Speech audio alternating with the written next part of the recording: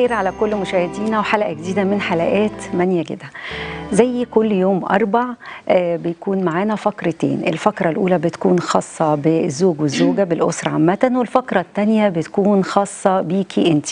بنهتم بكل تفاصيل حياتك بنهتم ببشرتك بصحتك برشاقتك بمطبخك ببيتك بالموضة في اللبس والستاير بنهتم بكل تفاصيل حياتك زي ما قلت. آه، كل سنة وأنتم طيبين. بكرة بداية الشهر الكريم. شهر رمضان كل سنة وكل المصريين طيبين وبالأخص إخواتنا المسلمين. آه، الحقيقة هو شهر كريم وبتمنى إن أنتوا يكون شهر صوم وبركة وشهر آه، عبادة ل- للكل. آه، كل سنة وانت طيبة يا سالي. كل سنة وانت طيبة يا ميرفت وكل سنة إيه؟ تمام الحمد لله. وكل سنة وكل مشاهدينا بخير وطيبين. كل سنه كل سنة وطبعا كل إخواتنا المسلمين آه، طيبين. ورمضان كريم.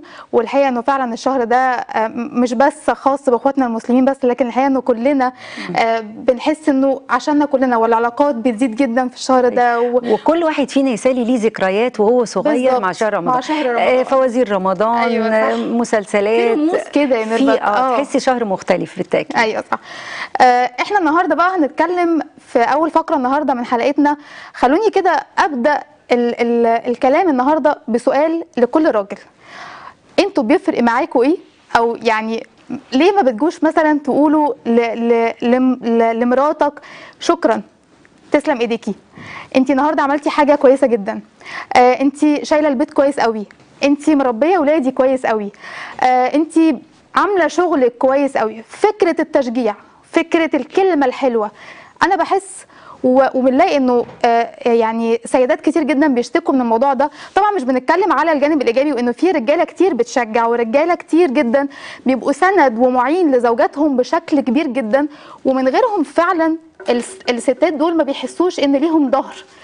فالحقيقة إنه كلامنا النهارده للراجل اللي مش عارف فكرة التشجيع أو الراجل اللي مثلا بيحس إنه على فكرة أنت بتقومي بدورك الطبيعي أنت ما بتعمليش حاجة زيادة. ده واجب عليكي. كل الستات بيعملوا كده أنت مش عاملة حاجة اكسترا يعني إيه المشكلة لما تربي الولاد؟ إيه المشكلة لما تودي مدرسة؟ إيه المشكلة لما بتبقي بتشتغلي وترجعي تاخدي بالك من البيت والولاد وتاخدي بالك مني وتشوفي هدومي وتشوفي شغلي وتهتمي بكل التفاصيل؟ ده الطبيعي بتاعك. آه الحقيقة إنه بنلاقي كمان إنه رجالة كتير جدا بقى آه بيتغيروا يعني تمام التغيير لما بيلاقوا ال ال الزوجات بيبقوا ناجحين جدا في شغلهم ووصلوا لدرجة مرموقة جدا في شغلهم. فبنلاقي إنه الراجل بقى يغير ونلاقي إن التعامل اختلف. فالنهارده إحنا حابين نتكلم في الموضوع ده. واللي عنده سؤال اللي عنده تجربة خاصة حابب يحكيها لنا يكلمنا آه، على تليفونات البرنامج اللي كانت قدام حضراتكم من لحظات قليلة جدا على الشاشة. هيكون معانا مين يا ميرا في الفقرة دي؟ هيكون معانا أستاذة سوزان نصح أستاذة المشورة الأسرية. الحقيقة موضوع مهم جدا يا سالي. التشجيع بيفرق مع كل واحد طبعاً. صغير أو. كبير هنقول قبل الصغير كمان. أي. الكبير يعني خلي بالك أنا لما بخرج من ال- الحلقة وحد يقول لي الله دي كانت حلقة بتفرق. جميله جداً. بتفرق جدا وبترفع روحي المعنوية جدا وبتخليكي. تعملي. وتخليني أتقدم أكتر بالظبط. تعملي مجهود زيادة صحيح. علشان انت عايزة الحلقة الجاية تبقي كمان أحسن صحيح فالتشجيع بيعلي الشخص اللي, اللي, اللي بيتشجع بي- بيطلعه لقدام ودي نقطة مهمة صحيح. جدا. صحيح. يا ريت يكون عندنا ثقافة التشجيع. معانا كمان فقرتنا الثانية بمناسبة شهر رمضان الكريم بدايته بكرة. وعزومات والناس بتحب تعمل أكلات جميلة وظريفة. النهارده كمان هنقدم لكم عمل جلاش التمبال. الحقيقة نوع من أنواع الجلاش. هو نوع من المطبخ التركي لكن خليني كمان يمكن أنا أول مرة. أسمع عنه ال- التمبال ده إيه بقى اصله وهو إيه هنعرفه بس الأكل التركي فعلا حلو جدا. أكيد. آه وعندهم عيش كده هم مشهورين بيه صحيح. بيبقى طعمه رهيب.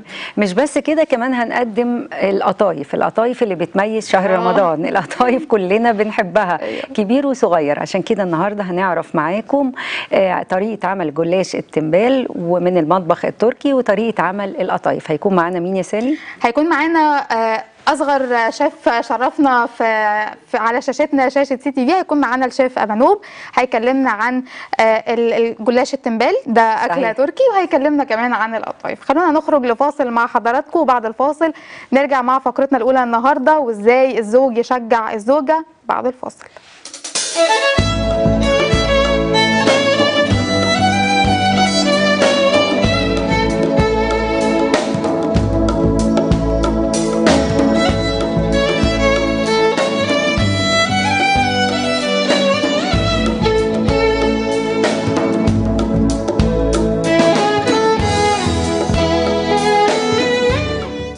المحامية في مصر. كانت الأستاذة مفيدة عبد الرحمن محامية ناجحة إلى جانب كونها ناشطة وعضوة في عدة منظمات ونائبة في البرلمان لأكثر من 17 عام. ويذكر أنها كانت في الوقت نفسه زوجة وأما لتسعة أبناء. كانت مفيدة من أولى خريجات جامعة فؤاد الأول وأول من تخرج منها في كلية الحقوق بعد أن شجعها زوجها على الالتحاق بها عام 1933 وكانت حينئذ أما لخمسة أبناء. كانت القضية الأولى التي ترافعت فيها مفيدة عبد الرحمن هي قضية قتل خطأ عندما نجحت في إقناع رئيسها في العمل بقدرتها على تولي القضية. فأعطاها الفرصة وكسبت مفيدة القضية وذاع صيتها كمحامية بارعة فأسست مكتب محاماة خاص بها بعد عدة سنوات. من أهم القضايا التي ترافعت فيها مفيدة عبد الرحمن قضية الناشطة السياسية درية شفيق التي واجهت تهمة اقتحام البرلمان المصري أثناء انعقاده مع 1500 سيدة أخرى لعرض قائمة بمطالبهن. كان في مصر وقتها عدد لا بأس به من المحاميات إلا أن مفيدة عبد الرحمن كانت أبرعهن وقد نجحت بالاشتراك مع هيئة الدفاع الذين تطوعت للدفاع عن درية شفيق أن تحيل القضية للحفظ. وقد تم اشتراك مفيدة عبد الرحمن كعضو مع اللجنة التي تولت إجراء تعديلات على لائحة قوانين الأحوال الشخصية في الستينيات من القرن الماضي. وكان من مهام تلك اللجنة مراعاة تطور المجتمع المصري ودخول المرأة لميدان العمل ومشاركتها في الحياة العامة.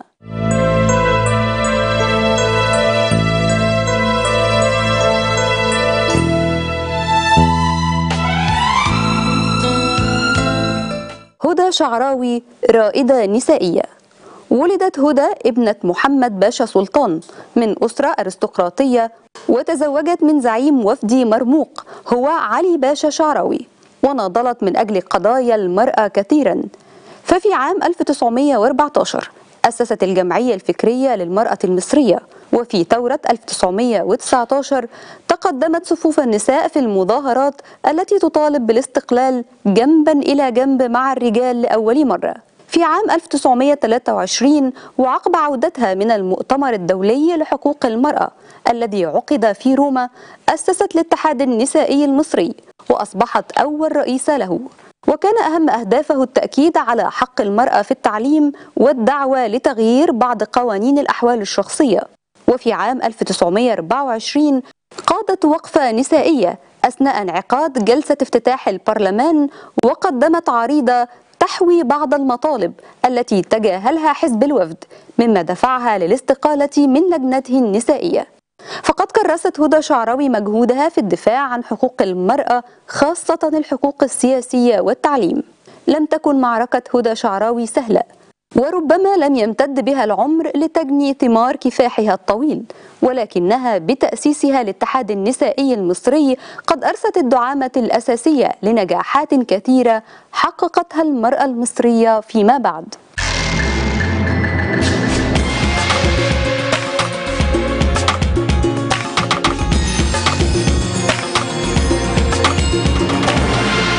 طبعا تشجيع الزوجة ده حاجة مهمة في البيت لأن ده بيأثر على البيت وعلى الأولاد ودي حاجة مهمة يعني هي برضه بتأثر نفسيا. أكيد ليه أهمية كبيرة جدا بيفرق قوي قوي في الحياة الأسرية بيفرق للأسرة عموما.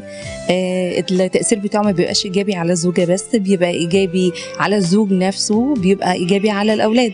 لأنه الزوج طبعا لما بيشجع زوجته بتبقى حالتها النفسية مرتفعة جدا وبالتالي هتريح وهتريح الأولاد في البيت هتلاقي البيت عايش أسرة سعيدة يعني هتبقى أسرة مثالية. ده لمصلحة البيت كله. حل سلام في البيت. هي تتقوى وهي بتتعب طبيعي في البيت مع البنات في البيت. فهي دي الأساس في البيت عموما يعني. هو التشجيع ده شيء ممتاز لأنه بيخلي أي حد بيتشجع بيعمل الحاجة اللي بيعملها بصورة أفضل وبأريحية وب- وبسعادة سواء الزوج لزوجته أو الزوجة لزوجها أو الاثنين لأولادهم فلو كمان يكون التشجيع من حد قريب زي الأسرة بيدي نتائج أفضل. ممكن بالكلام ال- الكويس كلمة كويسة بال- بالرأي لو في حاجة مهمة في البيت ما تشعرش بمشاكل ولا أي تعب. لو هي بتشتغل يقدر يساعدها في إنه يتعاون معاها في الحاجات اللي هي ممكن يشارك معاها فيها عشان يخف عليها الضغوط اللي عليها. ده بيبقى نتائجه كويسة. لو هي ظروفها مش بتشتغل مثلا متفرغة لتربية الأولاد وهو يشاركها برضه في تربية الأولاد ويشجعها على النتائج اللي بتحصل ويبقى فرحان بالنتائج دي ويظهر ده طبعا ده بيرفع معنوياتها بيخليها تقدر تدي أكتر من غير ما تحس بالتعب والمعاناة اللي المفروض نتيجة الجهد اللي بيحصل يعني. لما يكون في رأي مشترك ما بيننا طبعا بيأثر على البيت وبيأثر على ال- على الأولاد بيأثر على على نفسية الزوجة وبيأثر برضه على الأولاد. بتبدأ تشجع أولادها بتبدأ تشجع جوزها آه، بالتالي بيبقى البيت مبسوط يعني راحة نفسية في البيت نفسه. بيخليها نفسيا تبقى مبسوطة وسعيدة. آه، ما تحسش بالوجع والألم نتيجة الجهد البدني اللي بيحصل لأن ال- الوجع لما يكون بدني الحاجات النفسية بت- بتعوضه بسهولة وبتخلي الواحد يقدر يعديه يعني. أنا بس بجيب ورده في عيد الحب.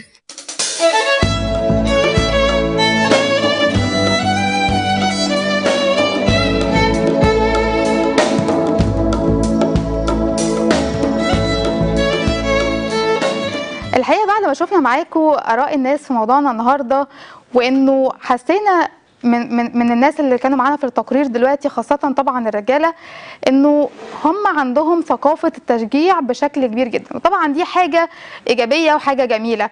بس الحقيقة بقى اللي إحنا محتاجين نتكلم فيه هل ده فعلا بيطبق في البيوت ولا ما بيطبقش في البيوت؟ هل فكرة بس إننا عشان بنسأل طب أنت بتشجع؟ آه بشجع. طب آه أنت يعني بتسند طول الوقت مراتك وبتبقى آه فعلا معين ليها فعلا سند ليها فعلا ظهر ليها ولا الموضوع بالنسبة لك مجرد كلام ولا من وجهة نظرك إنك بتشجع بس من وجهة نظرها هي وده الأهم في الموضوع إنه لأ نقطة التشجيع مش مفهومة أو مش واصلة لها بالشكل اللي هي محتاجاه. ده هنتكلم فيه النهارده مع ضيفتنا اللي مشرفانا جدا وجودها معانا ودايما بتشرفنا في من يجدها أستاذة سوزان نصحي أستاذ المشوره الأسرية. أهلا بيكي معانا مشرفانا ومنورانا ميرسي ربنا يخليكي. آه شفنا مع حضرتك دلوقتي التقرير ولقينا إنه الرجالة شايفين إنه آه التشجيع ده حاجة إيجابية وحاجة بتخلي الست طول الوقت تهتم ببيتها وبتخلي طول الوقت إنها تبقى مبسوطة. آه كمان آه السيدات نفسهم اللي قالوا إنه آه هي كمان بتتعلم ده فبتوصله لاولادها من خلال إنها بما إني إنسانة بتشجع فأنا لازم أشجع ولادي فالبيت كله بيبقى مظبوط. تمام. إيه بقى فكرة يعني أو إيه لازمة التشجيع خاصة عند الستات؟ لأنه الست بيفرق معاها التشجيع أكتر من الراجل بس ليه؟ هقول لك ليه. آه بصي هو كان في لقاء عمله دكتور الدكتور العظيم مجدي يعقوب مع لميس الحديدي وقال إن في حاجة آه اسمها متلازمة القلب المنكسر. ده بيصيب الناس العاطفيين جدا اللي بيتأثروا بسهولة آه فبيسبب ضعف في عضلات القلب فمش بتقدر تبقى يعني بتدي بالجودة اللي هي المناسبة.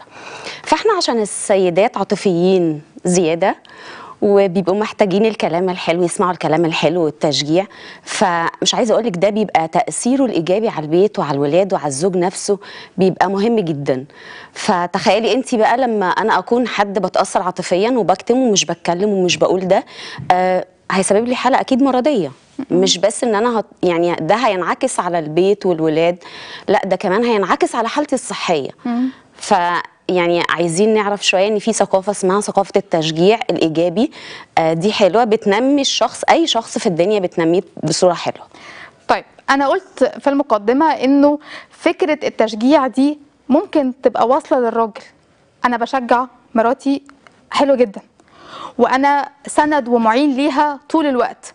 وأنا آه طول الوقت بقول لها كلام كويس. بس تيجي بقى نسأل الزوجة تقول هو بيقول لي كلام كويس ما عنديش مشكلة في ده خالص بس مش ده التشجيع اللي أنا محتاجاه.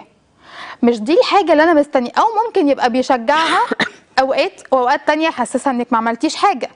فيبقى في العموم كده من وجهة نظره أنا بشجع من وجهة نظرها ما بتشجعش. التشجيع السليم المفروض يبقى عامل إزاي؟ آه بصي هو كل واحد بيبقى ليه احتياج مختلف عن التاني وتبقى بصورة مختلفة. يعني في زوجة ممكن تشتكي هو أنا عمره ما قال لي كلمة حلوة. دي بقى محت... بتبقى محتاجة منه إيه؟ إن هو يقول لها كلام حلو.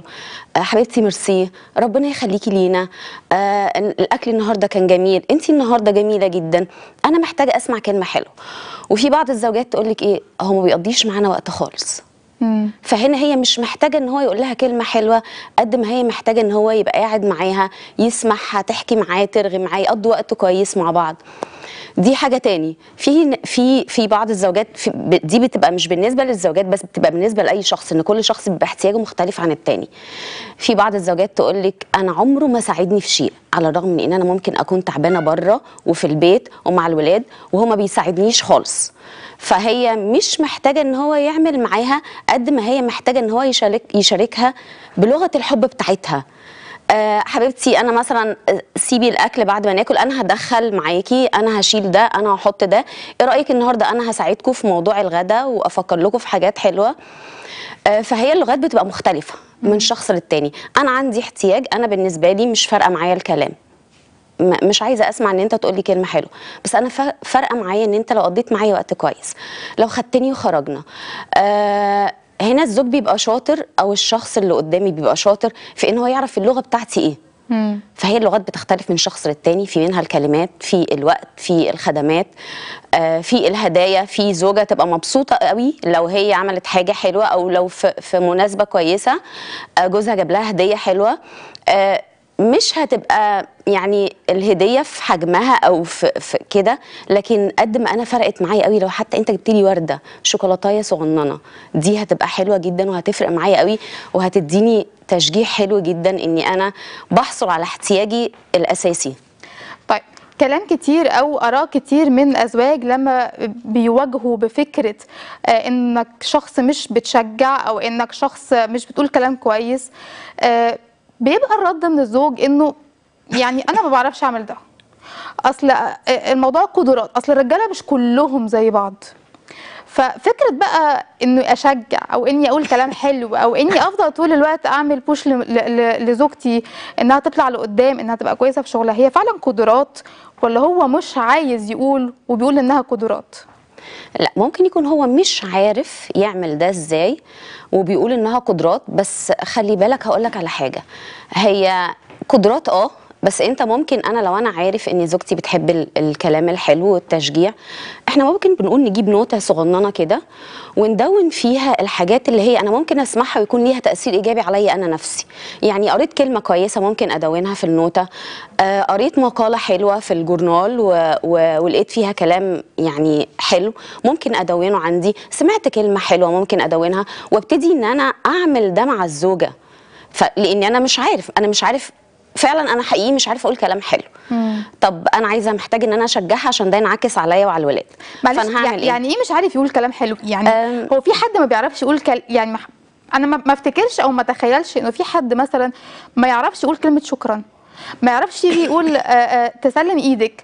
آه، ما يعرفش مثلا يقول إحنا تعبناكي النهارده. هو ده مش كلام حلو يعني مش بنقول له طول الوقت تقول لها بحبك يعني بس يعني اشكرها. ودي حاجة هتشجعها فهتخليها تعمل أكتر. والحقيقة إنه زوجات كتير لما أجوازهم بيشكروهم بنحس إن الزوجه بتقول لهم لأ إنتوا ما ينفعش تشكروني وإنه ده عادي وإنه ده أنا بعمل لكم عشان أنا بحبكم. فبنلاقي رد الفعل برضو حلو. ففكرة إنه ما بيعرفش يقول كلام حلو أنا بحسها غريبة شوية. لا هو حقيقي ممكن يكون فعلا مش متعود آه ما بيعرفش يعمل ده بس آه، هو يعني سهل إن أنا. أقدر أعمله من النشأة طبعا. آه، مم. لكن سهل إن أنا أقدر أعمله. آم، لو أنا عايز الدنيا تبقى كويسة عندي فإيه إيه إيه البديل؟ إن أنا أدي عشان أقدر آخد. أنت طبيعي في شغلك لو أنت اديت في الشغل كتير قوي قوي قوي وحسيت إن الرؤساء عندك في الشغل أو المديرين عندك مش بيكافئوك على عملك ده ده هيسبب لك ألم نفسي. فطبيعي إن الزوجة لما تكون بتدي هي مش محتاجة كلمة شكر قد ما هي محتاجة كلمة تشجيع. آه، ده بيخليني بيديني سبورت أو حاجة حلوة كده تخليني إن أنا أدي أكتر. لكن تخيلي إني أنا يعني مش شايفة كلمة تشجيع عشان أنت مش عارف تقولها عشان أنت مش متعود. آه طبيعي إن أنا كمان مش هيصدر مني أي نوع من أنواع ال- الجودة إن أنا أعملها أو إن أنا أكون حد بيدي حاجة أو أنا كمان أبقى. support ليك أو أنا كمان أبقى مشجعاك أو أنا كمان أبقى سنداك. تمام. بس برضو نرجع نسأل نفس السؤال واللي أنا شخصيا بلاقي ناس كتير جدا وستات كتير جدا بيشتكوا منه فكرة إنه أنا ما بعرفش أشجع فما بقولش كلام كويس فما بدل ما بديهاش support وإلى آخره. فبتيجي بقى الزوجة يعني أنا في مرة زوجة قالت لي طب هو بيقول لي أنا إنه ما بعرفش أقول وما بعرفش أشكر أو يعني خلاص أنت عارفة اللي جوايا. طب انت بتعمل إيه مع مديرينك في الشغل لما بيعملوا معاك حاجة؟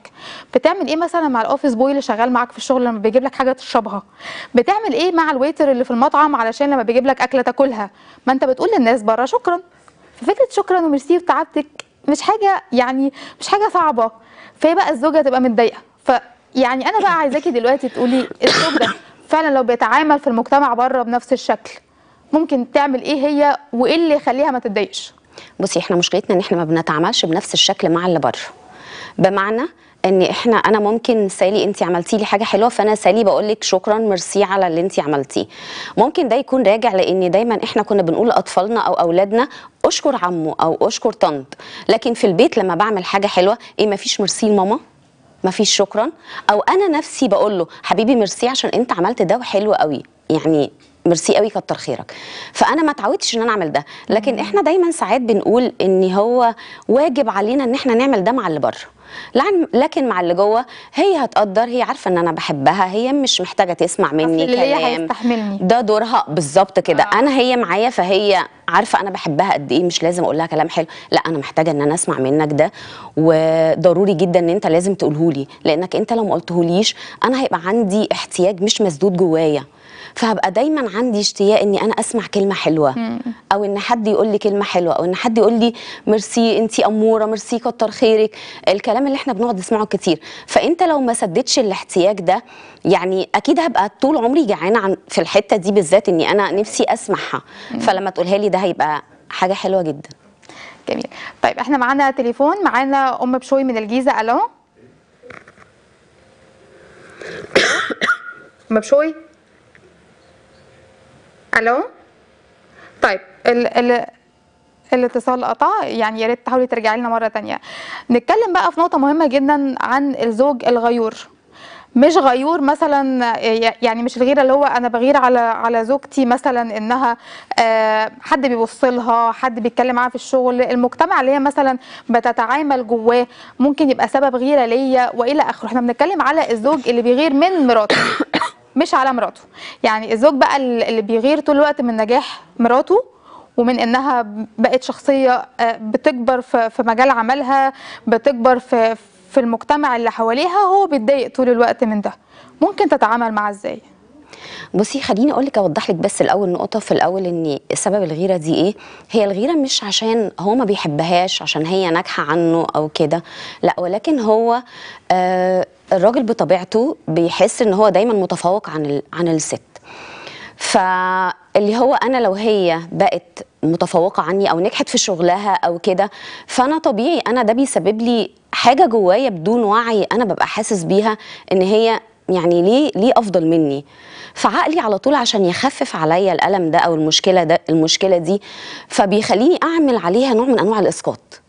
انت مش بتعملي اللي عليكي في البيت كويس. أيوة انت انت شايفة ان انت ناجحة انت مش ناجحة ولا حاجة انت يطلع بتقومي- نقط ضعف مش بالظبط. مش نقط قوة. فهي تبتدي تعمل إيه؟ تعمم.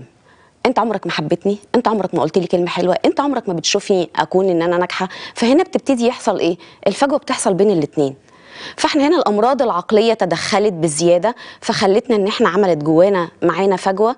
فأنا مش قادرة أتقبل فكرة إن أنت مش قادر تتقبل نجاحي وهو كمان مش قادر يتقبل فكرة إن هي ممكن تكون بتشتغل وناجحة. ووارد إن هي ممكن تكون فعلا في بعض الأحيان بتأثر في البيت بسبب الضغط اللي عليها. بس عايزة أقول لك إن الزوجة بتكسب ده كويس قوي لو هي حسست جوزها قوي إن هو المحور بتاع حياتها.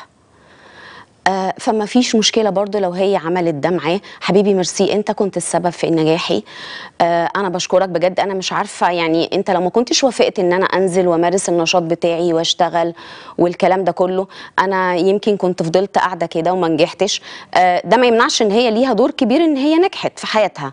ولكن هو أكيد برضو كان ليه دور كبير في ان هو ساعدها أو وافق على نزولها انها تنزل لمجال ال- الشغل وتمارس أنشطة وخدمات وحاجات كتير جدا. فكان ليه دور. فزي ما هي يعني محتاجة إن هي تسمع منه إن هو بيشجعها هي محتاجة إنها تقول له أنت ليك مثلا دور كبير جدا في اللي بيحصل في حياتي. هو لو سمع ده طبيعي جدا يعني بدون مبالغة هيقول لها حبيبتي أنت تستاهلي ده آه أنت شاطرة آه لكن لو أنا يعني في البيت أنا مش حاسة إن أنا محتاجة إن أنا أقول له ميرسي أو شكرا برضو نفس الحكاية فهو مش هيشجعني. طب اسمحي لي يعني ده هينفع مع كل الأزواج ولا في أزواج ما بيسمعوش تحسي إن ودانهم مقفولة تماما لما بيلاقوا آه، الزوجة ناجحة خاصة لو المستوى الثقافي والمستوى التعليمي والمستوى الاجتماعي الزوجة أعلى من الزوج إلى حد ما فده بيعمل مشاكل كبيرة بعد الجواز. آه، فاللي حضرتك بتقوليه ده هل هينفع مع كل الأزواج؟ ولا في أزواج لما بتلاقي آه لما بيلاقي مراته ناجحة آه بيقرر إنها هتسيب المجال اللي هي ناجحة فيه ويخيرها ما بين إما تسيبي ال- ال- اللي انت فيه ده لأنك مقصرة في بيتك زي ما حضرتك قلتي إنه بيعمل حالة من الإسقاط على اللي هي بتعمله آه، أو بيتك فتختاري. يا إما أنا والبيت مثلا يا إما تختاري شغلك. مهما بقى ساعتها بتقول له ما بيسمعش. تتعامل إزاي في وضع زي ده؟ خليني أقولك إن إحنا ممكن نجرب مرة واثنين وثلاثه خليني أجرب لأني أنا هدفي الأساسي إيه؟ أنا هدفي الأساسي مش إني أكون ناجحة في شغلي. أنا هدفي الأساسي إني أكون ناجحة في بيتي في تربية ولادي مع جوزي. ده الهدف الأساسي. فأنا بحاول إني أنا أوصل لده بشتى الطرق. هو مش قادر يستوعب الحتة دي ومش فاهمها ودايما عايزها تقعد في البيت أو دايما بيقول لها انت مقصرة. هي ترجع الأول لو هي فعلا مقصرة فهي المطلوب منها إن هي تسد تهتم بقى أكتر. بالظبط آه، تهتم أكتر تمام. أو تدي وقتها شوية دورها للبيت الطبيعي. وتعمل دورها الطبيعي آه. وفي شغلها أكيد هي آه لو هو ما جابتش نتيجة معاه في إن أنا فعلا في استمرارية بإني أنا بحاول إن هو يشجعني وبشكره كتير وبقول له كلام حلو إن هو دايما بحس إن هو ليه الفضل ممكن حد يتدخل آه بس حد يكون واعي شوية آه لو أنا ما عرفتش أوصل معاه خالص لنتيجة لحل. مم. الحل ده لو أنا ما عرفتش بس إحنا في كل الحالات بقول أنا بحاول بأقصى جهدي إني أنا عايزة أوصل لك إن دي حاجة حلوة آه مش هتعود عليا أنا بس لأ دي عايدة على البيت كله وعلى الولاد. وفي نفس الوقت أنا نجاحي كمان هيعود عليكم لأني أنا لما أحس إن أنا ناجحة في حياتي العملية ده هيخليني هكون شاطرة أكتر في البيت وفي تربية ولادي ومعاك أنت كمان لأن ده بيسد عندي برضو احتياج إن أنا أحس بالنجاح أحس بالثقه بالنفس أحس إن أنا عندي رغبة في الحياة حلوة فده هي- هيبقى تأثيره على البيت شامل. مش عليا أنا لوحدي. فهي الزوجة أكيد طالما هي عايزة توصل لهدفها إن هي تكون ناجحة وبيتها ناجح وولادها ناجحين فهي تحاول بشتى الطرق. تمام. لكن لو في تعنت وما قدرش ما قدرتش توصل معاه لنتيجة ممكن اطلب أطلب من حد واعي أو متعقل يتدخل في الموضوع. يتدخل في الموضوع. تمام. إحنا معانا تليفون معانا آه معانا أم مينا؟ معانا دينا. دينا من القاهرة ألو؟ أيوه مساء الخير يا دكتور. ازي مساء؟ الخير. إحنا مع حضرتك اتفضلي آه، معلش يا دكتور أنا كنت عايزة بس أسأل بالنسبة برضه لل- للزوج اللي هو فيه كل المواصفات اللي حضرتك بتقولي عليها دي وكمان plus إن يبقى فيه خيانة. خيانة. ما بيشجعش الزوجة ما بي على طول مقلل من كرامتها قدامها وقدام الأطفال قدام عيالها. وكل الحاجات دي plus الخيانة. ده ده يتعامل معاه إزاي يعني؟ تمام. هترد على حضرتك دلوقتي. آه. شكرا طيب، لحضرتك تمام. هو أنا مش عارفة الخيانة من طرف مين؟ الزوج. الزوج. الزوج ما بيشجعش. طول. الوقت بيقلل من من زوجته بيقلل من كرامتها قدام الناس الغرب وقدام القريب قدام الولاد و- ومفيش كلمة حلوة بتتقال بالإضافة إلى إنه كمان بيخونها. فتتعامل إزاي؟ آه بصي هو الموضوع ده صعب شوية. جدا. جدا. تمام. ومؤلم. ومؤلم جدا. أنا معاكي. بس أنا عايزة أقول لك حاجة. ممكن هو في يوم من الأيام حس بتقصير منها. ممكن ده؟ وارد. ده و... لا ده مش مبرر خالص خالص مش مبرر. بس أنا بديكي نتيجة إن هو عمل كده ليه. فهو ما قدرش يقول لها إن هو محتاج الحتة دي. بس هو لجأ لوسيلة غلط خالص. لا طب معلش يعني أنا طبعا مش بعترض على كلام حضرتك طبعا؟ أنا مش قصدي أقول لك إن هو مبرر إن هو بيخون عشان هي قصرت. بس أنا بقول لك إن إحنا ساعات في بعض الأحيان أنا ما بلاقيش تجاوب من اللي قدامي فأنا ممكن بدون وعي أو أو ممكن بحاجات كتير قوي ممكن ألجأ للخيانة. طب معلش يعني هي هتديله إزاي؟ يعني في الحالة اللي بتتكلم فيها أستاذة دينا آه، هي هتديله إزاي حاجة كويسة؟ هتديله إزاي اهتمام؟ هتديله إزاي احترام؟ وهذا الرجل طول الوقت بيهين زوجته حتى قدام الأطفال. يعني أنت طالب مني حاجة أنا ما ينفعش أعملها طول ما انت بتتعامل بالشكل ده فيعني علشان نبقى واقعيين أكتر يعني هو فعلا يعني حتى لو هي اثرت حتى لو هي مش سامعه له قوي طب ما أنا برضو أنت بتتعامل معايا بشكل يقلل مني طول الوقت ويهزقني قدام ولادي ويعمل حاجات كتير. مطلوب بقى مني إني أعمل ده وأستحمل خيانتك ليا؟ الموضوع لا يعني الموضوع صعب. بصي هو ما عندوش وعي بنفسه خالص. خالص وما بيطلبش اح- احتياجاته انها تتسد منها بطريق مباشر. يعني هو ما لجأش ان هو يقول لها. هو مش أصلا في كل الحالات هو ما فكرش في البيت. تمام؟ فهو ما لجأش ان هو يتكلم معاها. حبيبتي مثلا انت ممكن تكوني مقصرة في الحتة دي. أنا محتاج منك ده. آه أنا عاوز منك إن انت تسدي لي الحتة دي لإني أنا مش مش لاقيها فيكي. فطبيعي إن هو يظ- يظهر في صورة إيه؟ إن هو بيهينها قدام الولاد. لأن هو عنده احتياج مش مسدود. فهو مش عارف يعبر عن احتياجه ده إزاي. فبيهينها قدام الولاد. آه بيزعق لها كتير. آه بيجرحها. آه بيخون. لأن هو مش قادر يعبر ويقول أنا محتاج ده. أنا عايز ده يتسد عندي. فهو طبيعي لجأ إن هو مش طبيعي سوري أنا آسفة هو لجأ على طول لوسيلة سهلة إني أنا أريح دماغي. أنا طلبت كتير وهي ما عملتش. ما ما ما فكرش في إن هي برضو ممكن تكون راجعة إن هي برضو كان ليها احتياجات وهي مش ما لقيتهاش. ودي المشكلة هنا الأساس أساسها بيبقى في إيه؟ أنا عندي احتياج معين أو نفسي إن هو يشجعني ما بيشجعنيش. فأنا هو إنسان ضعيف جدا ومش واعي بالقدر الكافي وما عندوش ثقافة فبمجرد ما بيسمع كلمة حلوة من بره هو بيضعف دي مأساة. دي مأساة كبيرة جدا. آه، سؤالها بقى هي تتعامل إزاي مع هذا الزوج؟ آه بصي هو إحنا بنقول يعني تحاول تنسى إن هو ممكن يكون بيخون. لو هي فعلا عايزة بيتها وعايزة ولادها تحاول. عارفة إن الموضوع صعب جدا؟ يعني إيه تحاول تنسى إنه عارفة إن بيخون؟ الموضوع صعب جدا. بس كل ما أكون هو قدامي وأنا بتعامل معاه على إنه خاين أنا مش هحاول إن أنا أصلح. طب ما هو يعني هو هو. يعني لو هنتكلم في في في في في المثل اللي قالته أستاذة دينا أول الحالة دي ما هو وارد يبقى الزوج مازال في الخيانة. يعني هو مش وقف الخيانة وندم ورجع وقال لها فهي هتنسى إنه خان. الفكرة كلها في إنه هو لسه بيهين ولسه بي بي بيقول كلام وحش وكمان لسه بيخون. هقول لك فهتنسى. إزاي إنه بيخون؟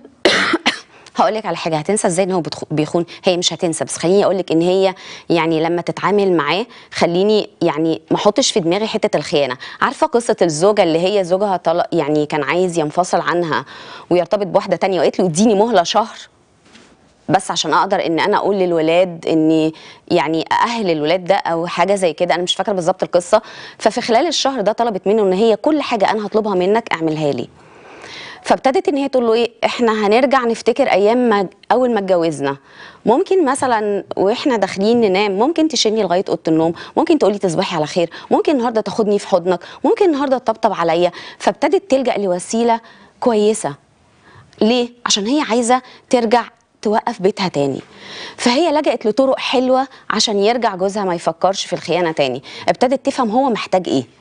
فهي لما عملت ده جوزها رجع عن القرار اللي هو كان ناوي ياخده بإن هو ينفصل عنها. ورجع ابتدى المشاعر تت يعني تبقى جواه حلوة تاني. فأنا عايزة أقول لك إن فعلا هو موضوع صعب جدا بكل الطرق. بس طول ما أنا حاسة إن في خيانة وهو خدني طب أنا هعمل إيه؟ طب أنا هتصرف إزاي؟ أنا مش بحل. الحياة بتقف. أنا مش بحل. تمام. لكن أنا بحل عايزة أحل عشان بيتي وعشان ولادي. ممكن ألجأ لطرق كتير جدا عشان أقدر أحافظ بيها على جوزي عشان أقدر أرجعه تاني ليا. جميل. أنا عارفة إنه لسه عندنا كلام كتير جدا محتاجين نقوله لك- لكن للأسف وقت الفقرة انتهى. أنا بشكرك جدا. شكرا جزيلا أستاذة سوزان نصحي أستاذ المشوره الأسرية. بنشكرك على آه، وجودك معنا النهارده في منيا جدا. ميرسي كل سنة وانت طيب كل سنة وحضرتك ميرسي. طيب مشاهدينا اتكلمنا معاكم في موضوع مهم جدا عن فكرة التشجيع. الحقيقة إنه آه، لكل أسرة أو لكل بيت آه، ظروفه والحقيقة إنه كل حاجة قلناها النهارده أو كل نقطة حاولنا اننا نغطيها النهارده طبعا مش بتطبق على كل البيوت بنفس الدرجة. فنتمنى تكون الرسالة النهارده وصلت وكل واحد يظبط بيته وحياته والتعامل ما بين الزوجين على حسب ظروف البيت ده. هنخرج مع حضراتكم لفاصل ونرجع مع ميرفت بعد الفاصل ومعاها الشيف ابانوب ومرة تانية بعد الفاصل.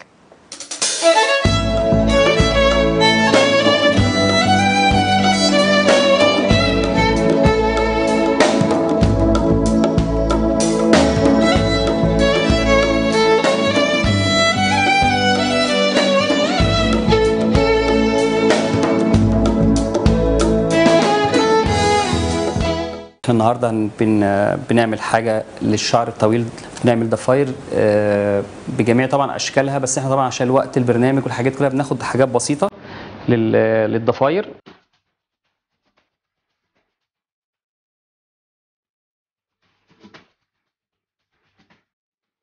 زي ما إحنا شايفين مع بعض نبدأ خطواتها عشان لو حد عايز يقدر يجربها في البيت أو حاجة هي مش مش صعبة وسهلة جدا. بنقسم الشعر زي ما أنتم شايفين لثلاث أجزاء الجزء اللي ورا وجزئين والجزء بتاع القصة اللي قدام.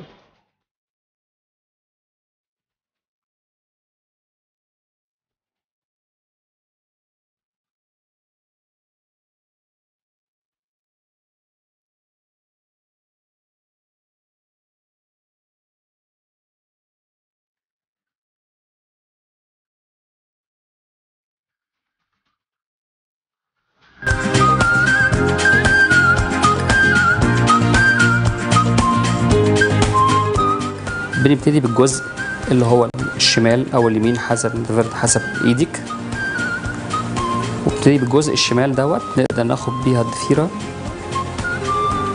نقدر ممكن بناخد خصلة من الشعر آه، من الجنب وخصلة من من حسب الضفيرة اللي انت عايزة تعمليها. لكن هي بتبقى سهلة جدا في طريقتها مش صعبة خالص. بس عايزة بس ممارسة مش أكتر. وطبعا هنا في مصر عندنا البنات الصغيرين ما شاء الله يعني بيلقطوا أي حاجة يعني.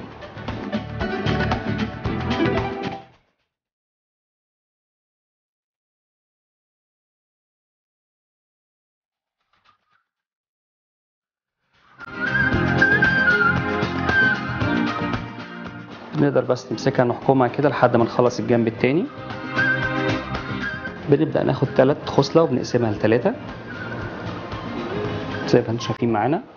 بناخد خصلة من الجنب رفيعة خالص. بناخد خصلة من ورا برضو رفيعة. أنا بحاول أسهلها عليكم خالص ان تبقى بالإيد مش بالمشط ولا بالحاجات دي كلها يعني.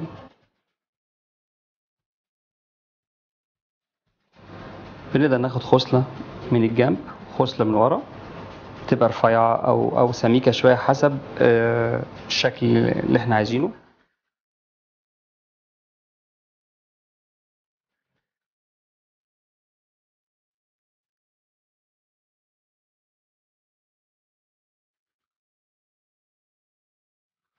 بعد ما خلصنا الجزء الشمال واليمين مكان ما نبدأ مفيش مشكلة. بيبقى فيه الجزء بتاع القصة ده اللي بنحدد بقى ال- الضفيرة نفسها. لو انت عايزاها مثلا عالية شوية عايزاها واطية عايزاها زي ما انت عايزة تقدري تتحكمي فيها برضو بسهولة. وبرضو بناخد جزء منها وبناخدها على ثلاث خصل. وبناخد من الجنب اليمين خصلة رفيعة. ومن الجنب الشمال. خصله رفيعه وبنمشي بنفس الطريقة دي لحد لما الضفيرة تخلص معانا.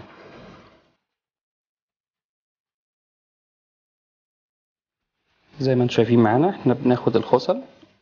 التلاتة اللي إحنا بدأنا بيهم. وبناخد واحدة شمال واحدة يمين برضو لغاية لما نوصل. إن إحنا نخلص الجزء بتاع القصة خالص.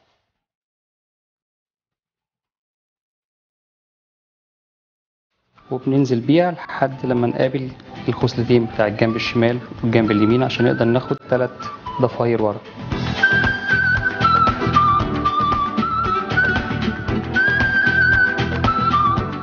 نشيل البنسة أو الكليبس اللي انت حطاها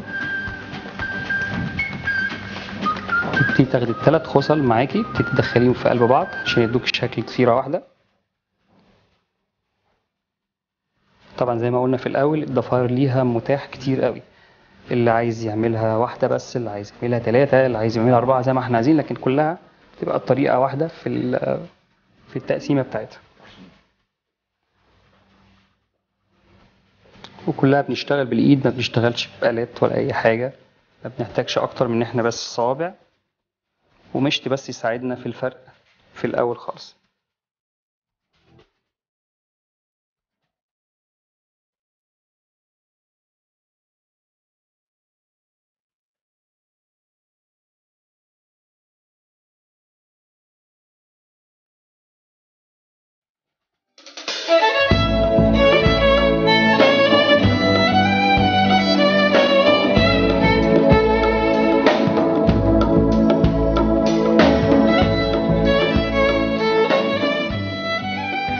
سنة وأنتم طيبين وبالأخص إخواتنا المسلمين كل سنة وأنتم طيبين. عشان كده حبينا طبعا شهر رمضان مليان بيحلو فيه ال- العزومات والأكلات الجديدة وبيبقى مليان كده بكل حاجة مبهجة وحلوة. عشان كده حبينا النهاردة نقدم لكم بعض الأكلات المختلفة. الجلاش التمبال يا ترى هو مختلف عن الجلاش باللحمة المفرومة العادي اللي إحنا بنعمله في البيت؟ هل مكوناته مختلفة؟ هل طعمه أيضا كمان مختلف هنتكلم معاكم ونعرف طريقة عمل القطايف. مش بس الحشوات المختلفة للقطايف لا دي طريقة عمل العجينة نفسها بتاعة القطايف إزاي نعملها في البيت. لأن إحنا دايما على مدار السنة ما بنشوفش غير القطايف غير في شهر رمضان. فالنهاردة هنعرف طريقة عمل العجينة نفسها علشان نقدر نعملها على مدار السنة. آه، كل ده هنعرفه من ضيفي اللي بيشرفني جدا شيف أبانوب. شيف حلو وحادق. أهلا بيك يا بحضرتك. منورنا وزي كل مرة بنبقى مبسوطين وانت معانا. شكرا لحضرتك. آه، بص بقى أنا أول ما سمعت فكرة الجلاش التمبال ده أنا عرفت إن هي أكلة تركي لكن مكونات اولا شكله تحفة شكله نفسه يا ريت الكاميرا تجيبه الشكل نفسه مختلف. فعايزين نعرف هل أيضا المكونات مختلفة والطعم نفسه مختلف عن الجلاش العادي؟ المكونات هبدأ أقول مكونات الجلاش التمبال هي طبعا أكلة تركي. التمبال يعني حاجة جوه حاجة آه، زي حاجة جوه حاجة؟ آه. آه زي. كوسة تمبال يعني كوسة محشية. يعني هو زي محشي. آه، هقول لا يعني خليني أتوقف. يعني كلمة تمبال يعني حاجة محشية حاجة جوه. حاجة. لكن مش نوع الأكل. يعني هي معنى تمبال معنى الكلمة. معنى الكلمة. مش نوع تمام. الأكل. حلو قوي آه، عندي مقادير الجلاش التمبال بتاعي. آه، عندي جلاش آه، ومكرونة سباكيتي ولحمة مفرومة وبصل وصلصة وبسلة وملح وفلفل. لا تاني طيب؟ هقول مقادير تاني؟ جلاش ومكرونة. جلاش ده ومكرونة ده سباكيتي. أولها حاجة جميلة يعني. آه، ولحمة مفرومة. ولحمة مفرومة. وبسلة. مم. وملح وفلفل والبهارات العادية اللي إحنا بنستخدمها. إيه هي البهارات؟ آه، بهارات لحمة آه، الملح والفلفل بتوعي. ممكن شوية كزبرة ناشفة بتدي طعم حلو جدا. آه، البهارات العادية بتاعتي. تمام. طب قول لي الطريقة سريعة. ببدأ أجيب ال- الس- الصينية. آه، بحط فيها ورق الجلاش. آه، الصينية بتبقى الصينية اللي هي بتبقى مفرغة من النص زي بتاعت الكيكة. هي بتاعت. الكيكة. آه. آه وبجيب الورق ورق الجلاش وبحطه يكون نصه في الصينية ونص بره. عشان تمام. أغطي ال- ال- الجلاش بتاعي أو الصينيه أيوة. بتاعتي. آه وبعمل كده في الصينيه كلها وبدهنها زبدة أو سمنة على حسب ست البيت اللي عندها وبيكون عندي بعصج لحمة على النار. تعصيجة اللحمة السهلة العادية بحط سمنة على النار وأحط بصلاية ورشة ملح عشان البصل يبد- يدبل معايا. وأحط ال- اللحمة المفرومة بتاعتي. ما بتحطش جوز الطيب ما لسه. آه لأن جوز الطيب دي لازم اللحمة المعصجة آه. آه، وبقلب اللحمة جامد. كويس جدا لحد ما تستوي. بحط بقى التوابل بتاعتي ملح فلفل وجوز الطيب زي ما حضرتك قلتي ممكن رشة قرفه رشة جنزبيل الحاجات دي كلها. قرفه وجنزبيل؟ رشة رشة. آه. بتدي طعم حلو جدا للحمة المفرومة. تمام.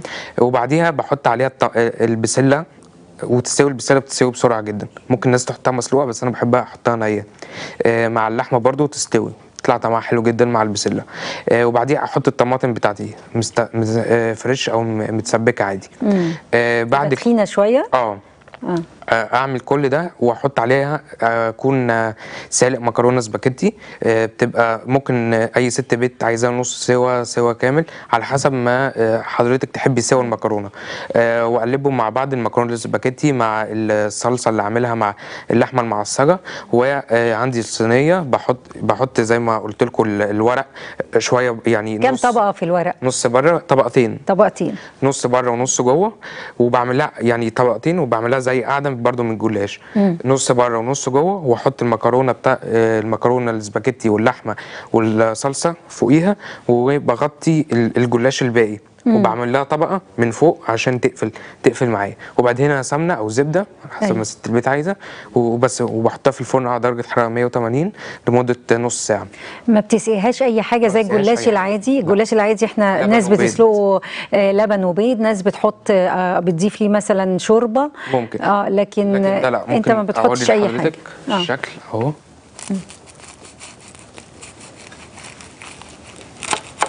أيوه. طبعا الجلاش ده بيتعمل في في المطبخ التركي مشهورين بيه جدا.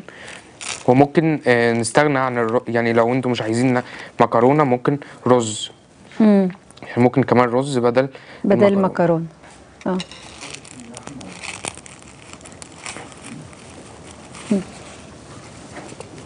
أكيد. آه. وطبعا دي تنفع في عزومة لشهر رمضان. بالظبط. لا والشكل القالب حلو قوي. آه. ارفعها كده شوية. آه. شكله جميل. قوي. آه فعلا. حلو قوي. معانا طب تليفون من أم طارق. ألو؟ فقدنا الاتصال. التليفون قطع. يا ريت تحاولي تتصلي بينا تاني يا أم طارق. دي بتتعمل وممكن تتقدم معاها سلطة خضراء أو طحينة بتبقى طعمها حلو جدا. حلو قوي. هي وجبة كاملة تتعمل في في سفرة رمضان. تمام. أو أي عزومة. أو أي عزومة. وجديدة. صحيح. وإحنا لسه برضو ما زلنا في أيام الخمسين المقدسة برضو آه، العزومات يعني قبل قبل الصيام إن شاء الله. طيب آه أنا شايفة قطايف أنت عاملها حلو. آه سريعا كده قول لي لأني آه، يعني قبل الهوا أنت قلت لي إنك أنت اللي عامل العجينة. نفسها. آه. فبرضو مهم قوي إن إحنا نعرف. آه، طبعا العجينة يعني القطايف نفسها مش بنلاقيها غير في شهر رمضان بس. صحيح. آه، قبل رمضان أو بعد رمضان للأسف مش بتبقى موجودة. العجينة بتاعتي آه، كوباية مية دافية مم. مع كوباية دقيق مع معلقة خميرة powder معلقة baking powder مع معلقة آه، سكر ورشة ملح. هقول المقادير تاني. تاني. سهلة جدا يا ريت تكتبوها. يعني المية قد الدقيق كوباية مية وكوباية دقيق. كوباية مية دافية. أهم حاجة الدافية عشان صحيح. الخميرة. كوباية المية الدافية مع كوباية الدقيق مع كوباية لبن بودر لبن البودر بيديها طعم حلو للعجينة. ما ينفعش. لبن عادي. آه لا يفضل لو كده ممكن نشيل مع- معلقة مية أو معلقتين مية. طب اللبن ال powder كوباية بتحط قد إيه؟ كام معلقة. معلقة؟ معلقة كبيرة. معلقة على كوباية مية عادي. على كوباية المية. آه. مع كو... اللي هي كوباية المية أصلا بتاعت القطايف. تمام. طيب اللي هي كوباية دقيق وكوباية مية دافية معلقة كبيرة لبن powder مم. معلقة آه، كبيرة سكر آه، معلقة صغيرة خميرة powder معلقة صغيرة آه، baking powder آه، نص آه، رشة ملح. طيب الخميرة ال powder بتحطها على المية الدافية؟ بحط كل يعني باخد كل المقادير دي. آه ومعلقة اللبن ال... برضو ال powder بتحطها على المية أو صح؟ أنا بقول أقول لحضرتك آه. آه عندي الخلاط بحط ال- كل مكونات الجافة بتاعتي الدقيق وال baking powder والخميرة مم. وبعديها أحط كوباية المية ومعلقة آه وبكون مدوب فيها ال- اللبن ال powder. مم. ورشه الملح ورشة السكر. حلو قوي كل ده في الخلاط وأسيبها في مكان يتخمر. يعني في الجو الحر ده ممكن تلت ساعة. مم. نص ساعة. آه، أسيبها في مكان يتخمر تلت ساعة ونص ساعة وعندي الطاسة التيفال آه، بدهنها زيت وآخ يعني آخد مقدار آه، يعني مقدار اللي هو بتاع ال- الكبشة بتاعتي مقدار وأحطه وأحطها في في الطاسة. مم. بس طاسة صغيرة قوي علشان تديني الحجم ده؟ لا هي الطاسة العادية. أنا اللي في أعمل بتحط الحجم أكتر. والدايرة. أوكي. يعني بنعمل كذا واحدة في في الطاسة. آه آه. آه بحطها واسيبها على نار مت... يعني بين المتوسطة وبين ال... ال... الواطية خالص. آه واسيبها لحد لو الكاميرا تجيب ال... الفقاقيع دي بتطلع وتستوي من فوق. آه طبعا القطايف مش ما بقلبهاش خالص. أيوه علشان تبقى الناحيه واحدة اللي محمره هي ناحية بس أو واحدة آه محمره صحيح. بعدها بعد ما أعمل كده باخدها واسيبها في مكان تبرد شوية. ما أسيبهاش تبرد قوي عشان ما تنشفش. عشان بتنشف. ممكن صحيح. ولو عملتها ب... بتتقطع. أسيبها شوية لحد ما تبرد. واعمل الحشوات بتاعتي ممكن أعمل جوز هند آه زبيب مكسرات آه المكسرات اللي عندي. مم. طب أنا ممكن أعملها برضو حادق. آه ممكن احشيها لحمه مفرومة. إيه؟ آه أو خضار أو جبنة. آه، سبانخ. آه، أو سبانخ. آه، دي بقى المقادير بقى بتاعت ال- ال- آه، اللي هي الحادق. آه. برضو نفس المقادير من غير لبن البودر اللي هي كوباية المية والدافية وكوباية الدقيق ورشة السكر ورشة الملح آه، ومعلقة آه، خميرة powder ومعلقة آه، لبن powder و baking powder لبن لبن آه، لا، برضو؟ الحادق آه، مفيش لبن الحادق ما. فيهوش لبن. آه، الحادق. يعني اللي بيفرق الحادق عن الحلو اللبن. لبن ال powder. آه. بس كده. طب آه، دايما بنلاقي مشكلة في القطايف أحيانا تطلع طرية واحيانا تطلع مقرمشة وهي طبعا المقرمشه بتبقى أجمل. إيه إيه السبب؟ إيه اللي بيخلينا ال- الشربات ولا حاجة تانية؟ آه، الشربات في ناس بتسيبها في وقت طويل في الشربات. طبعا ده غلط. هي بتساب وبتطلع يعني بتقلب وتطلع. تاخد وهي بس تعمل آه طب هي سخنة والشربات بارد؟ الشربات سخن. سخنة برضو؟ آه. الاثنين سخنين. آه. آه. آه، بتتعمل وتطلع تت يعني تتهوى شوية والشربات ينزل منها كلها بعملها على زي مصفى. واسيبها خالص تهدى وتنزل الشربات بتاعها وأقدمها ورش رش جوز هند مكسرات مم. يعني ال- ال- الناس عايزاه طب ابانوب قول لي آه، بسرعة كده مقادير آه، الشربات نفسه الشربات. لأن أحيانا برضو يعني ما بنبقاش عارفين نعمله خفيف زي بتاع البسبوسة ولا سميك شوية زي الكنافة ما يعني بنحتار بالذات في القطايف الشربات أو السيرب بتاع الحلويات عامة هو واحد. يعني بتاع بسبوسة بتاع كنافة بتاع قطايف هو واحد. آه، ده بعمله إزاي؟ آه، طبعا في ناس آه، لا إزاي هو واحد؟ إحنا دايما متعودين إن الكنافة بيكون السيرب بتاعها بيكون أتقل شوية من البسبوسة مثلا. المقادير بتاعتي واحدة بس آه، في فرق في, في السمك. يعني آه. الكنافة تقيلة البسبوسة خفيفة شوية القطايف خفيفة كده يعني. بس هو واحد. آه في ناس اللي هي المصريين كلها عارفينه اللي هي ال- الدقيق آه، السكر والمية مم. أنا بقى بقول طريقة يعني آه. بضيف اللمسة بتاعتي كده؟ آه بحط عندي كوبايتين مية وكوبايتين سكر تمام. باخد كوباية سكر وأكرملها على النار تدي لون ذهبي فاتح تمام. وبعديها أنزل عليها بالكوبايتين الميه بتوعي وكوباية السكر وأقلبها كلها مع بعض تبقى مكرملة شوية تمام. وأول ما تغلي بعصر عليها عصرة ليمونة آه وبس ودي تخلي القطايف تكون مقرمشة كده وحلوة. وتمسك نفسها. برضه وفي الزيت ممكن نعمل حاجة في القطايف اللي إحنا نقليها مم. وبعديها نطلعها تتصفى ونحطها تاني في الزيت. دي برضه بتدي قرمشة للقطايف. دي برضه سر من اسرار القطايف. تاني دي سريعا؟ آه ب- ب- بقليها ويعني ب... يعني بطلعها قبل ما تتقلي خالص يعني بتكة كده. وقبل مثلا ما أقدمها أو قبل ما أديها لحد بحطها تاني في الزيت. آه. الزيت بيبقى غزير وسخن تطلع مقرمشة. قبل بقى ما أحطها في الشربات. قبل ما أحطها في الشربات تمام تمام. أنا الحقيقة استمتعت قوي بالطريقة الجديدة وقلت لنا أسرار المهنة. يعني بشكرك جدا يا ابانوب أنا بشكر. حضرتك وبشكر قناة CTV وعلى كل بقى المصريين رمضان كريم. إن شاء الله عليكم. أمين. آه بشكركم مشاهدينا على حسن المتابعة واللي ما شافش حلقتنا النهارده من البداية. يقدر يتابعنا في. في الإعادة يوم الجمعة الساعة 3 كنا معاكم في حلقة النهارده. اتكلمنا سالي اتكلمت معاكم وكانت فقرتها عن التشجيع في الأسرة. تشجيع الزوج للزوجة تشجيع الزوجة للزوج تشجيع الأهل للأولاد. حقيقة فقرة مهمة جدا ويا ريت كلنا نتعلم ثقافة التشجيع. واتكلمنا في فقرتنا الثانية عن المطبخ وعملنا معاكم جلاش التنبال والقطايف حلوة وحادق. بشكركم على حسن المتابعة ونشوفكم يوم الاثنين القادم وحلقة جديدة ومن يجد.